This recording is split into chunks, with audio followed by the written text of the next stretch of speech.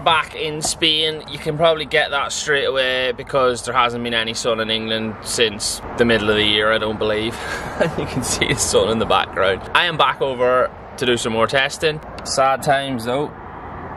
I'm on my Jack Jones. Neil is not here. Neil's had to stay at home because he's got some work to do in the company, so he's not been fit to come, which he doesn't watch these anyway, so I can say it. Upsets me greatly. I do love having him here as much as I take the piss out of him and I'm going to be lost without him. So back to Almeria again. I've been to the airport today. Well, I've obviously flown over this morning, planning on starting this vlog with all this, like the start of the trip and all that hoo-ha, but got to the airport in a bit of a flap. Then the flight was delayed, so then I was pissed off. And then when I got off the plane, I had to go sort out picking up my van and things like that there. So it's starting now in the services on the side of the motorway. I'm about an hour into the journey. I've got another hour to go. But I'm going to go straight to the track this evening because obviously all the stuff we put in the compound at the track, I need to go get that all back out, get that sorted ready for the morning rather than doing it in the morning and just flapping and then realising something's not ready. So that's the plan. I'm going to go to the track now, get all that stuff out, get ready and get set up for tomorrow and then go and have a romantic meal for one on my own tonight probably at some point. I'm going to take you guys with me and see if I can manage to do this on my own uh, without having my backside wiped. Back to the same track day company as we've used before, so I'll chuck their link link in the description below. Uh, but I'm looking forward to this. I feel a lot better than what I did the last time. not gonna lie, took a good step in the old body since then. So it's been two weeks, so we got back. I was done after the last one, got back, and I've done quite a lot of training in between. It's gonna be really interesting to see, first of all, how I feel and what the step is, and trying not to get carried away. But first of all, we're gonna finish this drive, get down to the track, and then see what shape our stuff's in when we get there. Not gonna lie, it's definitely not the same without having Neil sat there winding in uh, packet of Tuc biscuits every 10 to 15 minutes. Yeah, we're only half an hour off off the track now. Why can't the weather be like this in England? For anyone wondering, it's 25 past, no, 20 past 5 in the evening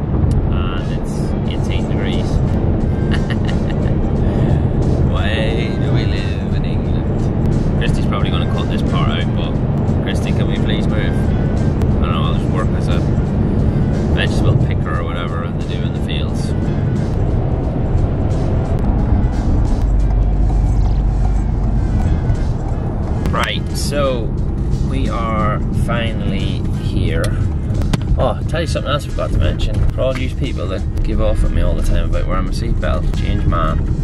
It's not that I didn't want to wear the seatbelt, it's that it rubbed like mad on my shoulder that was already in agony. So I used to have it tucked under my arm and you just didn't see it. So, but I couldn't be bothered to try and explain that. So that was the situation. But yeah, we're finally at the track now. So I'm gonna go get the bike out of the compound, all the spares and stuff. I'm not gonna bring the camera down there just out of respect that there's a lot of other people's stuff in there. So the last thing they want is to be showing that off on YouTube and stuff just for, not saying any of you folk are dodgy, but yeah, we don't want to be putting that on. Oh my days. That a horse box or a race truck?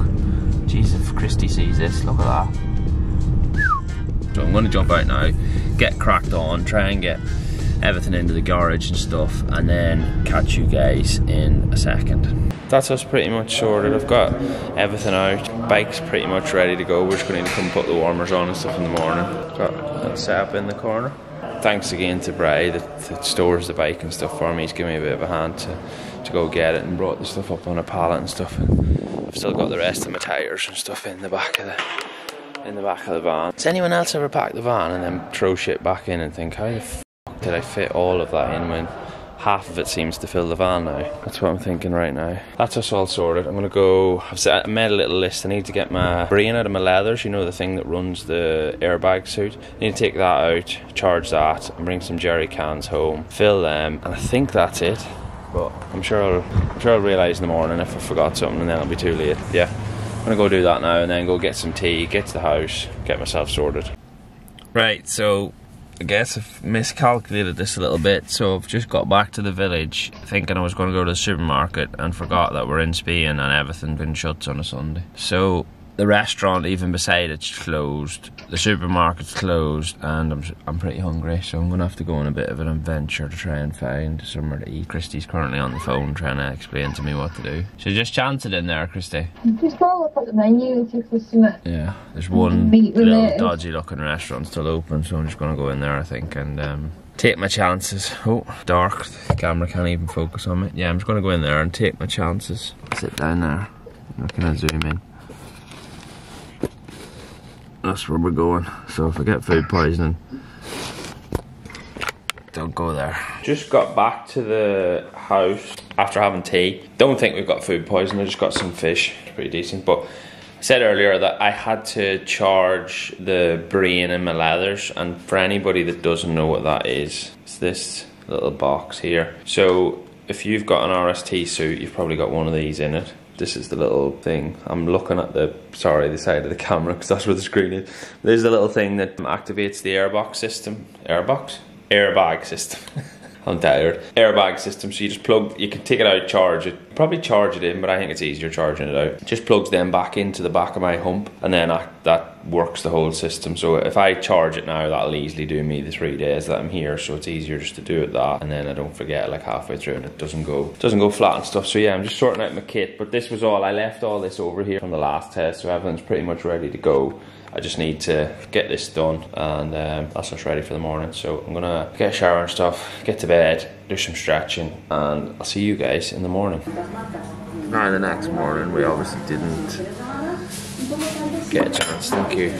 Get a chance to uh, go to the supermarket last night. The supermarket was closed, so I've literally popped into a little. I'll show you when I get out. Like proper little Spanish thing. I've somehow managed to order a coffee and some. Thank you. Chris. Ven, mire que para afuera no bota mucho frío. scrambled eggs and toast. I think that's what I ordered. So yeah, coffee looks good though. Let's see what comes. Oh, I think I'm basically fluent in Spanish now. Look, Cinco, cinco. survive out here on my own. No, no bother. Don't even need Neil. Right, see.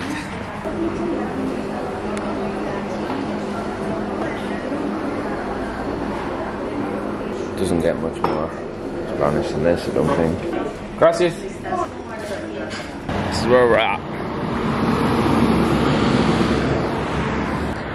Last time I was here, there was a dude. Um, I don't know if I can zoom in.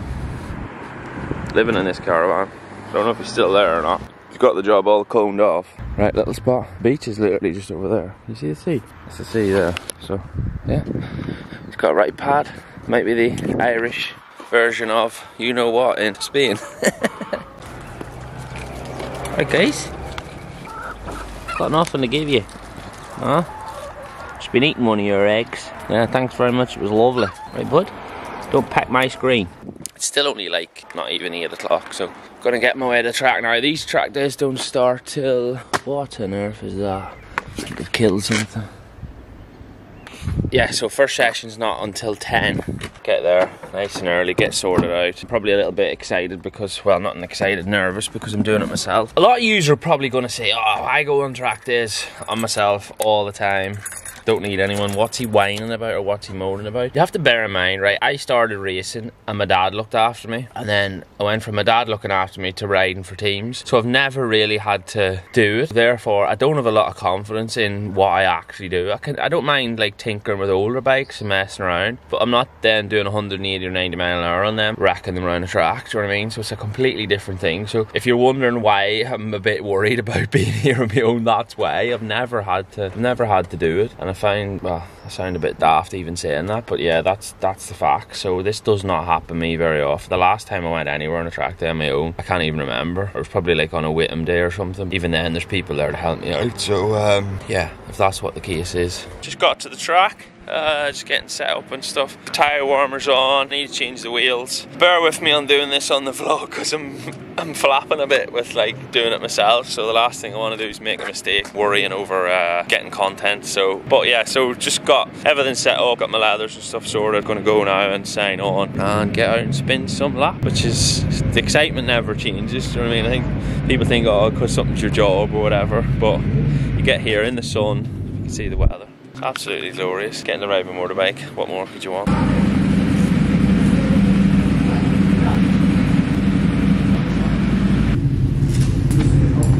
So we've done a couple of sessions now, a lot better than two weeks ago. I'm actually like physically, sounds weird, but strong enough now to be able to break a sweat. Do you know what I mean? Because before I couldn't muscle the bike enough to even breakfast wet. So we're going a lot better. Lap time's a little bit better as well, but the actual consistency of how many and what we're doing and the feeling on the bike, I feel a bit more at one with the bike. So really, really happy. Yeah, I've done a couple of sessions. So I tried to do some onboard stuff in the first session, but the file got encrypted or whatever the hell it's called. So if Christy's already put it in, then it worked. But I'm gonna go again and try another one. If it hasn't been in yet, that's why.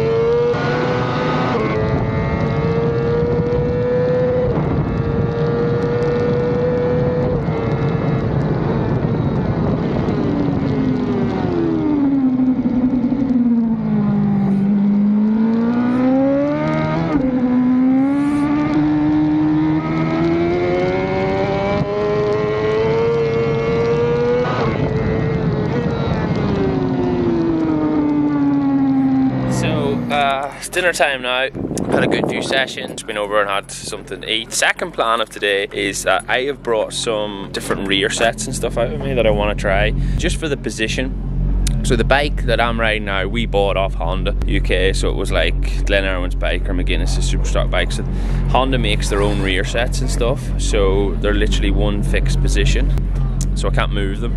But I wanted to move them. So Spider, the company that we deal with now for all the other bikes, have sent me out some stuff to try. It's going to get dark here in a second. The next plan of attack is to try these. So the next plan of attack is to try and put these on because I want to try. Basically, yeah, the, I think the the ones that I'm on now are a little bit too far back. They're a bit longer. So this is what I mean by like a fixed position. That's what's on the bike. I'm gonna put these spider ones on, see how that feels and what it does. Because this track's like really right-handed, like long right corners, and that's the part of my femur that I broke as well. So it's like really overloading it. So I'm just trying to take a bit of the load off that and see, trying to put this on and see how it feels. Uh, excuse the language. I've just crashed. I don't know yet. I'm just, well, just looking at the bike to see what damage I've done. I've done a decent amount. Not crazy big stuff, but obviously I don't have absolutely everything here with me. I've got bodywork and stuff. The tank's dented, but I don't know if it's cracked. Off my brake reservoir, I don't know if I've got one of them. And my air scoop's damaged, so I don't know if I've got one of them.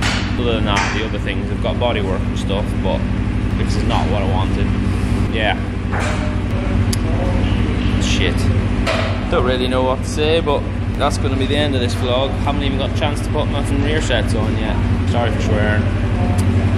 Seriously pissed off. Anyway, thanks for watching. Check in the next vlog and see what happens. Right, I am back home now. As you can see, I'm in the garage at the house.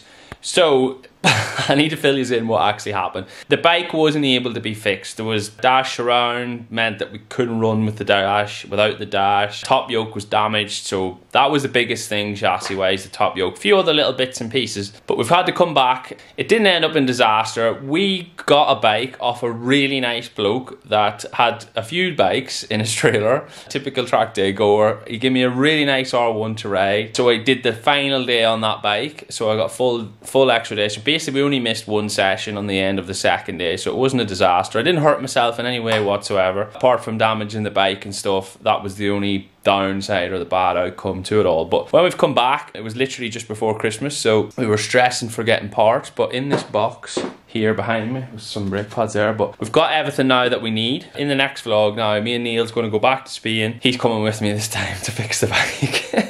we're going to go back to Spain, fix the bike, ride the bike again before then taking the bike home. So come check that out on the next vlog. Thanks again for watching this, guys. The, the support means a lot. And I think now, at least after crashing, we know that we're not made of glass. Oh, one more thing, I almost forgot. Parts, I got them off Clive Paget because he was the only person that I could get them things at like a day before Christmas. So big thanks out to Paget's and Clive for sorting that out when pretty much no one else could. So thanks guys.